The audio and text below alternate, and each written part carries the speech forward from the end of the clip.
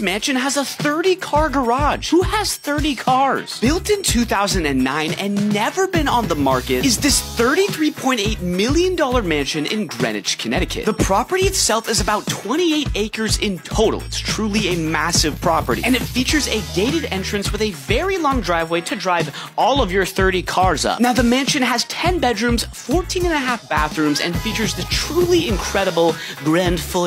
As you can see, it is very checkerboard-like. The mansion comes with a massive pool and a pool house, a wine cellar that can fit many, many bottles of wine, a huge library. You know you've made it when you have a ladder in your library. Everything is very clean and ornate, lots of white, lots of wood, and whether or not you're good at golf, this home's got you with a golf simulator. The massive home also features seven wood burning fireplaces, and of course, this truly incredible 30 car garage to feature all of your supercars, all of your luxury cars, maybe even a Toyota or two.